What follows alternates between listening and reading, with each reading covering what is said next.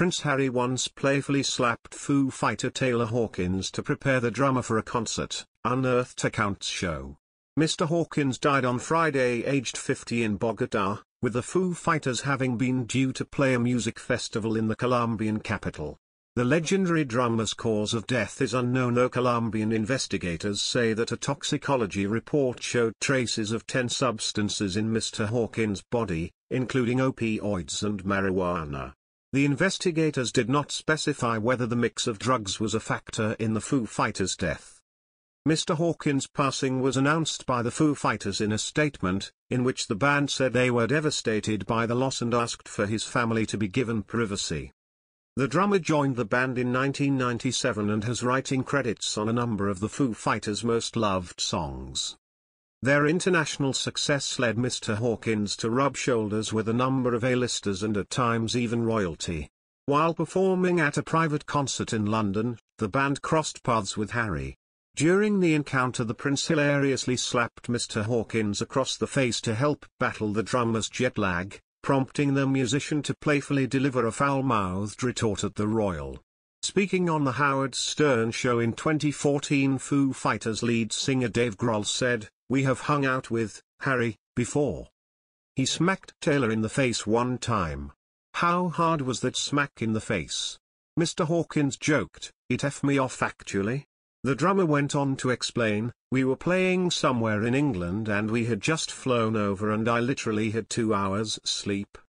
We were doing a show in some ambassador's backyard or something, and, Harry, walked in and he had a bunch of his people around him. And he goes how are you doing? And I'm like I can't wake up. I'm so tired, but, I've got to play.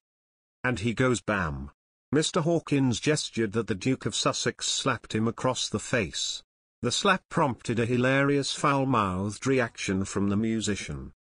Mr. Hawkins recalled, I went, you mother effer. And he went, are you awake now?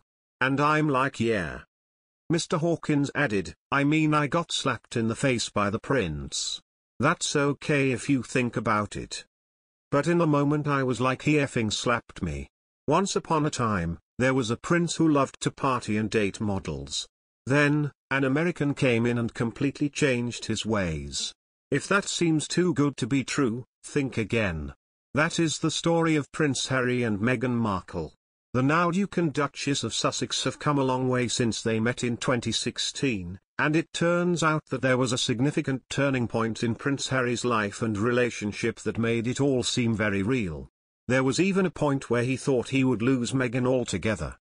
Back in 2016, Prince Harry made a public plea for European newspapers to stop the racial undertones that were being used to describe his then-girlfriend Meghan Markle and for editors to pause and reflect before any further damage is done. A royal making a public statement is a pretty good indicator that he's upset, but a source said that he was much more upset than that. He was freaking out, saying, she's going to dump me, a close source to Prince Harry said, according to Express UK. Breaking up with a royal because the entire British media is bashing your skin colour? Breakups have happened over less. While we all know that the story ended up well for Prince Harry and Meghan, that wasn't the last time the two would battle the media together.